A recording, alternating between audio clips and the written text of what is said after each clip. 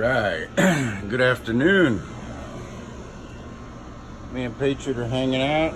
We're gonna we're gonna test the uh, the new generator on the RV. I've got the uh, I've got the 50 amp cord plugged in. Okay, and that's into my generator plug. Remember, this is for shore power. Okay. Now, even though they're the same exact plug, okay, both this one and that one are the same plug. This one goes through my line conditioning. So when I'm plugged into utility power from the uh, power company at a campground or whatever, it goes through this uh, surge protection system and then it goes into my, my transfer switch. This one right here is coming from the generator, okay? That was coming down, coming down, and it finds its way to the tongue where the uh, where the generator plug is at. Okay. Um, why that is is in uh, previous videos. But I've got my solar panels going. I've got my charge controller going and I'm not hooked into shore power. And I just did a uh, screenshot of the uh, of where the state of my batteries and everything. I'll put that in this in this video. Okay, I've got my propane, which is my uh, fuel source, and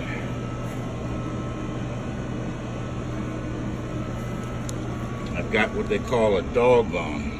Okay because that right there has to plug into that right there. So as you can see,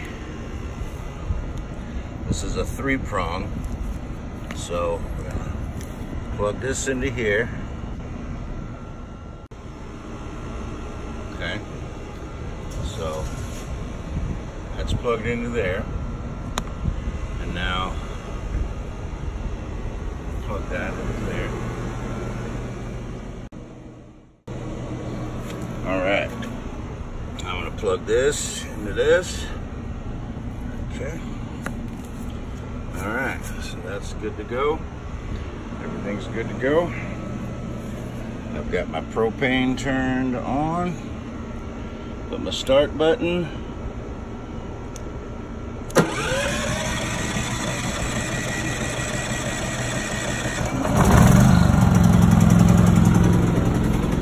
now what's going to happen, you're to see there's no lights on there. And there's shore power there. Okay. The reason there's shore power is because it's being powered by the inverter coming from the batteries. But watch, in about five, ten seconds, that's to switch to generator. Watch. See generator power? Watch what happens.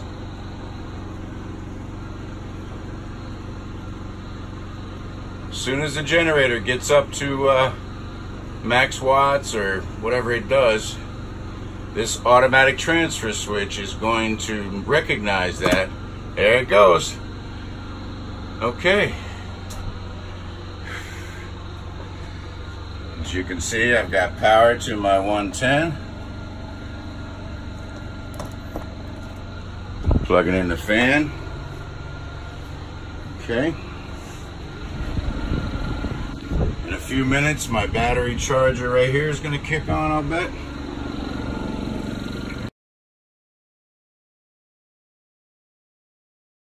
Okay. I'm now going to turn on I'm going to turn on the air conditioner.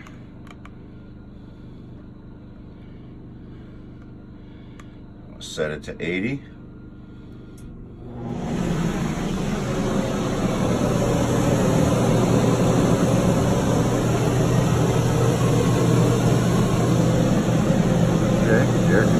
Running.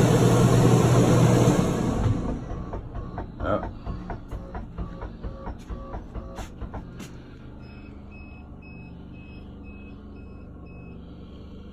And it popped, it popped the breaker.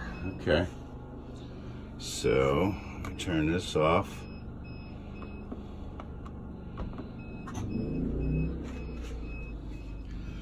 I don't know if I have the uh, I don't know if I have the generator in. I may have the generator in economy mode. Let's go see. Okay, good morning. Good morning. I'm up here on the roof and I'm working on the air conditioning. And this right here, this unit I'm getting ready to install. It's the Micro Air Easy Start, okay? And what this is going to do is allow me to run this air conditioner with my with my generator, okay? And I've got some other videos that I'll attach to this one. But what I'm gonna do right now is wire the Easy Start system into the wiring on the air conditioning system. So let me get a little further along and I'll be back.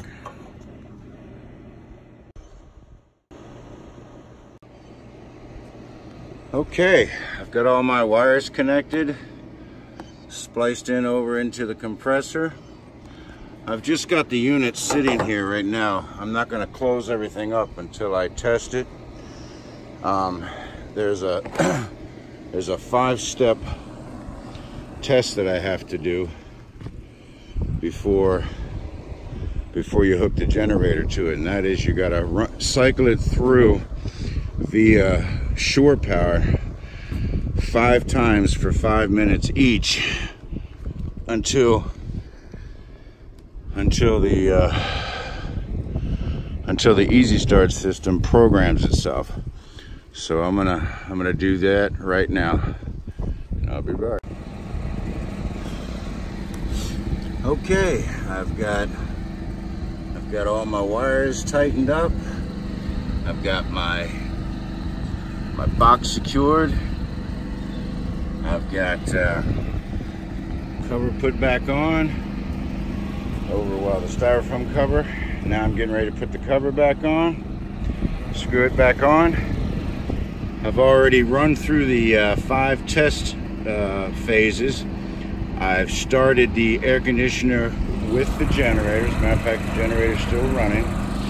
And I'll go, I'll put this, uh, I'll put the cover back on and then I'll go downstairs and show you how it works. This is a very cool thing. All right. I guess while I'm up here, I'll go ahead and uh, show you. I've got the cover back on. Here's all my wires for my, uh, my solar panels. This is 500 watts. Each panel is 100 watts. And put the cover back on. It's got four screws that hold it. Uh, these are my sewer vents for my black, uh, that one's for my gray tank. That one's for my black tank. And you'll see they spin around depending on which way the wind goes and they really, they really work good. That's my refrigerator vent, and that's my uh, ceiling fan vent cover. There's another one down there. So I've got the awnings out. I uh, gonna go down now and uh, mess around with the generator. You can hear it still running, maybe, and uh, it's very quiet and uh, I'm gonna mess around with the air conditioner. All right, I'll be back.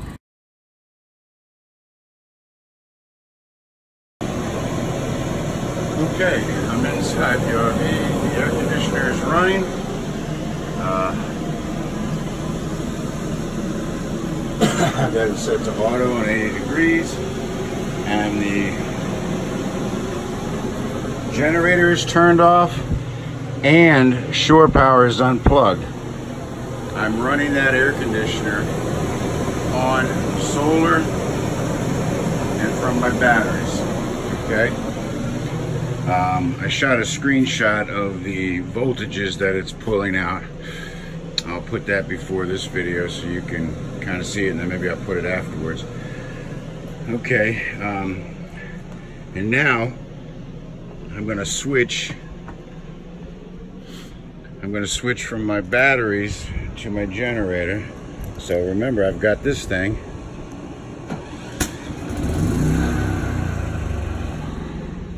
Okay, now I'm gonna shoot another screenshot of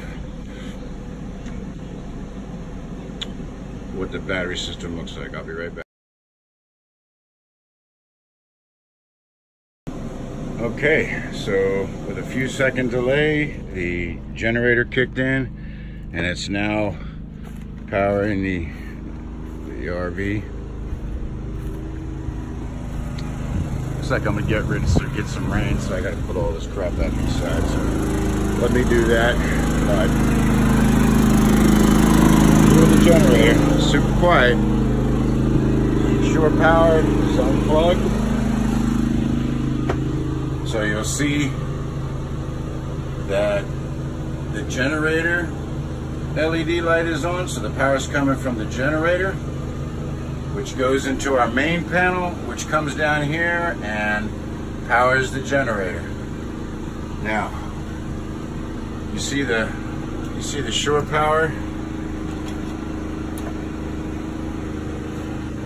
see the shore power? I'm gonna kill the generator. Watch what happens. Immediately switches over to shore power. Air conditioner didn't even burp. Didn't even burp. All right, let me get this stuff cleaned up because, uh, yeah, it does look like it wants to rain. At least get the stuff that can't get wet. All right, I'll be back.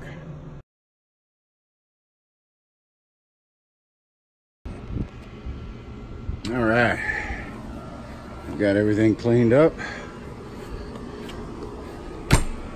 Put the generator away. The uh, got everything put away, battened up. We did have a little bit of rain there, but I suspect more will be coming soon. Um, so I got everything, everything's put away. Everything's battened up. All right, so what we did today was install a Micro Air Easy Start 364, which I don't have the uh, proper test equipment as far as meters are concerned to show just how much amp draw at the onset of turning the unit on, the, uh, the AC on. But I'm going to venture to guess that it's in the 40 to 60 amp range. And even though it's only for a few seconds, it was that was enough for the generator to not uh, engage the uh, compressor on the air conditioner. So we've solved that problem and I'm going to suspect that it's somewhere somewhere below 30 but probably more around 17 amp draw which is perfect because that um,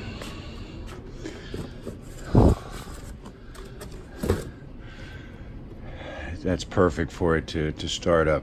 Now, I disconnected the shore power and the generator, shut the generator off, and I was running my air conditioner on for uh, running right off the batteries. Um, now keep in mind, when you do something like that, you're gonna run your batteries down probably in a few hours, depending on your, you know, what your solar setup is. Uh, and I didn't have my wind turbine on, but there's a potential that if I had the wind turbine on and the solar going, that I might get a day, probably not, but half a day uh, of AC. So, uh, you know, as time goes on, we'll test it in various situations. But the main thing was getting the air conditioner working with the generator. All right, I'll be back. Okay, see that pool? I've been on top of that trailer all morning putting that micro air uh, soft start kit on and I am hot as hell. So I'll be enjoying the pool here in about 10 minutes once I finish putting this video together and get it to start uploading. Um, that's Apollo. He's a Schnauzer. And there's our Patriot boy. And uh, so anyway, yeah, so I got to tell you, I'm extremely excited. It took me took me about an hour to install that thing. Anybody could do it. It's not it's not rocket science. Um, I read the instructions at least a dozen times. Uh, watched two videos, one from the manufacturer on how to install it. I found the model uh, AC unit that I had, and it had pictures, uh, the wiring diagrams. I mean everything. So, you know, it's just very very simple. Um, and I don't care who you are, if you have a rooftop AC, you need to invest in this thing because it it it just it, my battery system now functions to to to run my air conditioning. And again, not that I'm going to be doing that, but it can. I mean, I've got a 6,000 watt. Um, it's a three six uh, thousand watt, 6,000 watt surge. Um, uh, inverter, which you'd think would would handle that, but it, it won't. Um, but now with the soft start, you know, on there, that surge, that amp surge, is just not there anymore. Um, anyway, so look into it. It's the Micro Air uh, Easy Start. I bought the 364. I think there's a 368, etc. But all right, let me get this video uploaded and. Uh, don't forget to visit uh, ginavince.com. I've got all these videos there. I've got my reviews. Uh, uh, basically everything I've done to the trailer. ginavince.com. All right. Have a good day and we'll talk to you soon.